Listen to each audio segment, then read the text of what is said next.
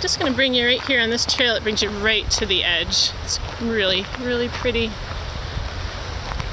Just a short video. We're just going to watch the water for a minute. It's just gorgeous.